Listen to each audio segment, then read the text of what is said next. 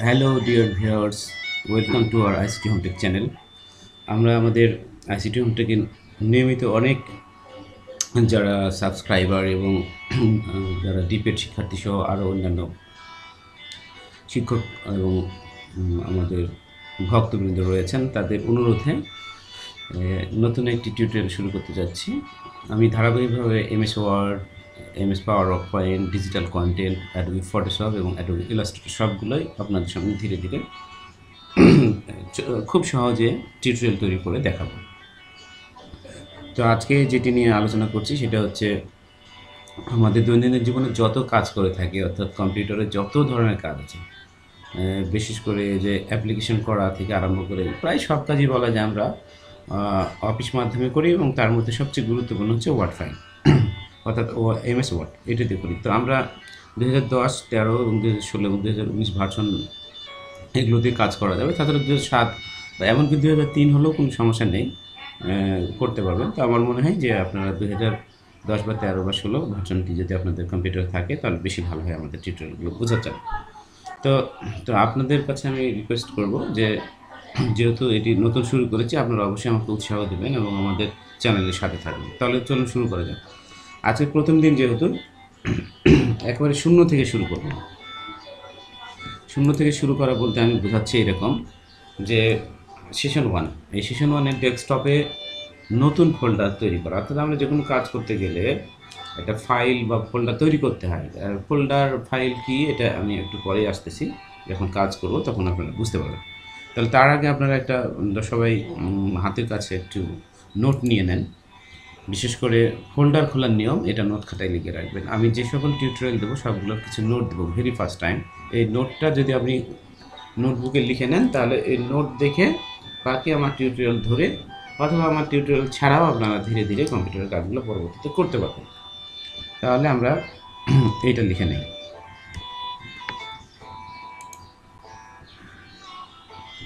এইভাবে আমরা ধাপে ধাপে কাজগুলো করব। অর্থাৎ প্রত্যেকটা টিউটোরিয়ালে আমরা যদি, এই নোটগুলো লিখে রাখি, তাহলে আমি এই নোটটা কীভাবে দেয়া হয়েছে সেটা একদম ব্যবহারিক, অর্থাৎ প্র্যাকটিক্যালি দেখিয়ে দেবো।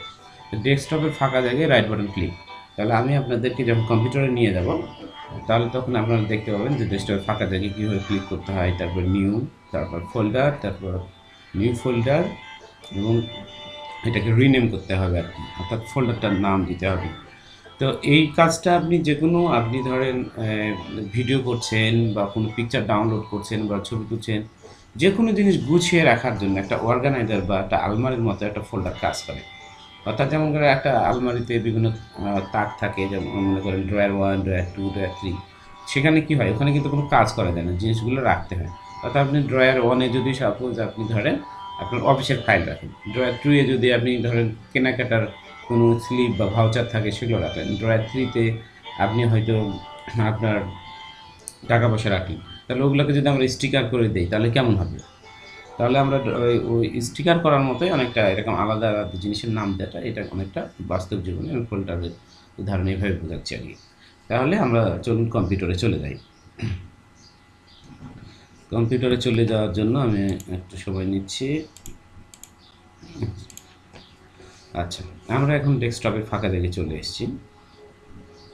অর্থাৎ এই যে পুরো স্ক্রিনটা, এটা যেহেতু আজকে নতুন টিউটোরিয়াল, যারা একেবারে কম্পিউটার বিগিনার, তাদের জন্য আমি বলছি, এরকম যখন কম্পিউটার অন করা হয়, তখন কম্পিউটার অন করার পর যে যে যে জিনিসটা দেখতে পাওয়া যায়, সেটাকে আমরা বলি ডেস্কটপ এনভায়রনমেন্ট বা সংক্ষেপে ডেস্কটপ। তাহলে আমরা এখন ডেস্কটপ মোডে আছি। তো ডেস্কটপের এই যে এইগুলো হচ্ছে আইকন, এই যে এগুলো হচ্ছে আইকন, বিভিন্ন এগুলো হলো আইকন। আর তারপর নিচের এটা হলো আপনার, আমরা বলি স্ট্যাটাস বার অর্থাৎ এই স্ট্যাটাস বারে আমাদের কাজগুলো, আমরা জমা রাখি। ডান পাশে যে ক্লক আছে, বা এগুলো আছে, এগুলো আমি ধীরে ধীরে আপনাদের সেটিংসগুলো দেখাবো। এগুলো ট্রাভেল শুটিংয়ে দেখাবো। আর এটা হচ্ছে স্টার্ট বাটন তো এগুলো হোক, আমি আপনাদেরকে ডিজিটাল কন্টেন্ট যে ট্রেনিং সেখানে কিন্তু দেখিয়েছি ফার্স্ট টাইম ওই ওই ইয়েটা যদি টিউটোরিয়ালগুলো অন্যান্য টিউটোরিয়ালগুলো আপনারা দেখবেন তাহলে দেখা যাক আমরা ডেস্কটপের ফাঁকা জায়গায় রাইট বাটন ক্লিক করি। ডেস্কটপের ফাঁকা জায়গায় আমরা এই যে ডান কর্নার বা এগুলোতে সে করবেন না, মাঝে মাঝে একটা জায়গায় করবেন। রাইট বাটন ক্লিক করার পরে আপনার দেখুন আমরা নিউয়ে আসলাম। এই নিউ আসলে আমরা দেখতে পাচ্ছি যে ডান পাশে অনেকগুলো অপশান চলে আসছে। এই যে এরকম ফোল্ডার শর্টকাট মাইক্রোসফট অ্যাক্সেস এগুলো আমি পরে ধীরে ধীরে যারা নতুন তারা এগুলোতে প্রথমে যাবেন না। আমাদের যেহেতু টার্গেট ফোল্ডার নিউ ক্লিক দেওয়ার পরে ফোল্ডারে ক্লিক দিন। এই ফোল্ডার মানে আপনি একটা রিনিউ করে আপনার বিভিন্ন ধরনের যে ভিডিও ফাইল পিকচার ফাইল এইগুলোকে বিভিন্ন ফোল্ডারে সাজিয়ে রাখতে পারবেন। তাহলে ফোল্ডারে আমি একটা লেফট ক্লিক দিলাম। মাউসের ব্যবহার সম্পর্কেও কিন্তু একটা ভিডিও আছে, আপনারা দেখেন। যে মাউসের লেফট ক্লিক রাইট ক্লিক কি, সেটাও আপনারা দেখে নিন। তো যাই হোক, এখানে আমরা লেফট ক্লিক করলাম। লেফট ক্লিক করার পরে আমরা এখানে দেখুন, প্রথমে কিন্তু এই যে একটা ব্লু কালার দিয়ে নিউ ফোল্ডারটা সিলেক্ট হয়ে আছে। এই অবস্থাটাকে আমরা বলি হচ্ছে রিনেম করার মুড অর্থাৎ এইরকম যদি নীল থাকে তাহলে রিনেম করা যাবে। তাহলে এখানে আমি রিনেম করে এটার নাম রাখতেছি হচ্ছে সাপোজ আমি পিকচার এটার নাম দিয়ে পিকচার ঠিক আছে? তাহলে আমরা পিকচার দিয়ে আমরা যখন লেখা শেষ হলো তখন ডান পাশে ক্লিক দিলাম। এটা তৈরি হয়ে গেল। আমি আর একটা দেখাচ্ছি এরকম আমি হয়তো ভিডিও নামের একটা ফোল্ডার করব তাহলে right button click new folder দেখেন? তারপরে ভিডিও সরি ভিডিও হয়ে গেল। আপনি এরকম যদি বানান ভুল হয়, তাহলে ব্যাক স্পেসে গিয়েও কিন্তু ভিডিও ইয়ে তো যাই হোক, এইভাবে আপনি একাধিক এগুলোকে গুছিয়ে রাখতে পারবেন বা সাইড করে রাখলাম। এখন আপনি যদি মনে করেন যে এটার বানান ভুল হয়ে গেল অথবা এরকম হতে পারে আর একটা নিউ ফোল্ডার নিতে গিয়ে ফোল্ডার এরকম বাইরে চলে গেছে, একটা হয়তো ক্লিক হয়ে গেছে, এটা লিখতে পারছেন না। তো এটা আসলে হয় কেমন করে যে আমরা অনেক সময় যখন রাইট বাটন ক্লিক করি ফোল্ডারে ক্লিক করি, তারপরেই কিন্তু সাথে সাথে এটা কিন্তু নামটা লিখতে হয়। কিন্তু এই নামটা লেখার আগেই যদি আপনার মাউসটা যদি বাইরে ক্লিক হয়ে যায়, তাহলে কিন্তু আপনি আর এই অপশনটা পাবেন। সেক্ষেত্রেও কোনো ঘাবড়ানোর কিছু নেই, এটাকে আমরা রিনেম করতে পারি। আমরা কিন্তু অলরেডি এখানে পাঁচটা ফোল্ডার তৈরি হয়ে গেছে। যে কোনো সময় যে কোনো ফোল্ডারের নাম রিনেম করতে পারবেন এর জন্য যেটি করতে হবে, যেটির নাম রিনেম করবেন, সেটার উপর রাইট বাটনে সরি সেটার উপর রাইট বাটন ক্লিক করে রিনেম রাইট বাটন ক্লিক করবেন, করার পরে দেখেন এই, এটা ওপেন থেকে আরম্ভ করে অনেক কিছু দেখাবে। লাস্টের দিকেও দেখবেন রিনেম এই রিনেমে করবেন রিনেমে ক্লিক দিলে যেটি হবে সেটি হচ্ছে আবার এই আগের মতো আপনি নাম চেঞ্জ করতে পারেন। অর্থাৎ আমি এটার নাম রাখতেছি, ধরেন ওয়ান টু থ্রি সেম এটাও আমি দেখি রাইট বাটন ক্লিক এটা ওপেন করে আমরা পরে দেখাবো আপনাদেরকে। একটা ধাপে ধাপে শিখতে হবে। রিনেম রিনেম এখানে হয়তো আমি এটার নাম রাখতেছি হয়তো। ধরেন সেলফি তুলেছি আমি আমি সেলফি তুলি বেশি, সেলফি গার্ডেন, এরকম রাখতে পারেন তাহলে এই রাইট বাটন ক্লিক আমি একটু ডিটেলসে দেখাচ্ছি এই জন্য যে আপনাদের বারবার যাতে বুঝতে সুবিধা হয়। যে কোনো সময় যে কোনো নাম দিতে পারেন আপনি যদি মনে করেন এই পিকচার ফোল্ডারটার নাম চেঞ্জ করবেন আজকাল পরশু, যে কোনো দিন, সেটাও করতে পারেন। তারপর যে কোনো দিন আপনি রাইট বাটন ক্লিক করবেন, তারপর এটার নাম হয়তো আপনি দিলেন। পিকচারের জায়গায় আপনি হয়তো একটা গার্ডেনের পিকচার ছিল, তাই না? তাহলে গার্ডেন হয়তো দিলেন। সমস্যা নেই গার্ডেন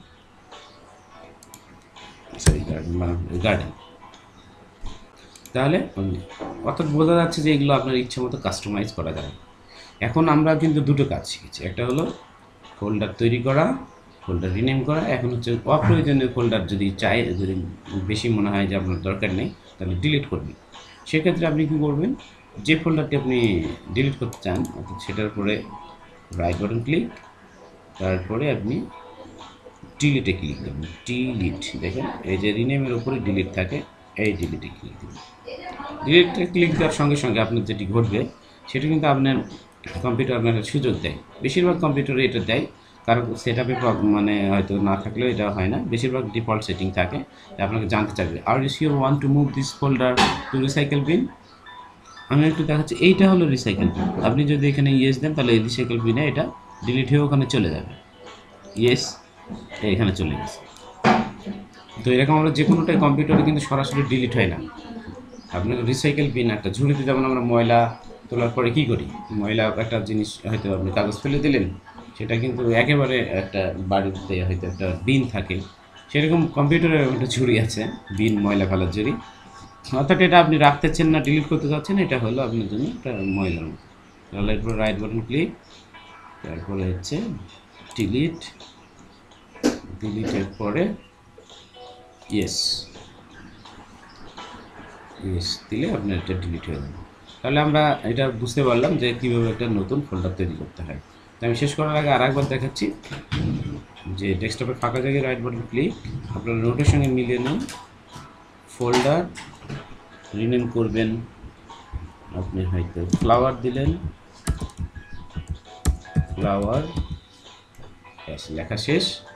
বাইরে ক্লিক তাহলে আমরা যদি এখন আমাদের নোটের সঙ্গে মিলিয়ে নেই, নিঃসন্দেহে আপনারা বুঝতে পারবেন যে আমাদের কাজটি হয়ে গেছে।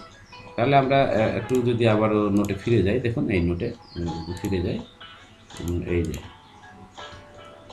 দেখুন। যে আমরা প্রথমে কী করেছিলাম ডেস্কটপের ফাঁকা জায়গায় রাইট বাটন ক্লিক করেছিলাম, তারপর নিউ তারপর ফোল্ডার তারপর নিউ ফোল্ডার তারপরে হচ্ছে নামটা পরিবর্তন করেছিলাম, তারপর কিবোর্ডের এন্টার কি বাটন চাপ দিয়েছিলাম অথবা মাউস ক্লিক করেছিলাম বাইরে। তো এখানে আমরা একটা নিয়ম লিখেছি আর বাকি দুটো নিয়মগুলো যেহেতু মুখের কথা আপনারা বুঝবেন যে রাইট বাটন নেক্সট ক্লিক করবেন তখন রিনেম রাইট বাটন ক্লিক করে ডিলিট ডিলিটের পরে ইয়েস এই ছিল আমাদের আজকের আলোচনা। তো আমাদের এই আলোচনার সঙ্গে থাকুন, আশা করি প্রথম ভিডিও বলে একটু লম্বা করলাম, যাতে আপনারা ডিটেলসে বুঝতে পারেন। আমি ধীরে ধীরে একটু সময়ের দিকেও নজর রাখব। আপনারা বেশি বেশি করে প্র্যাকটিস করুন, কোনো সমস্যা থাকলে আপনারা কমেন্ট করেন ভালো লাগলে শেয়ার লাইক দিতে পারেন। ওকে ধন্যবাদ।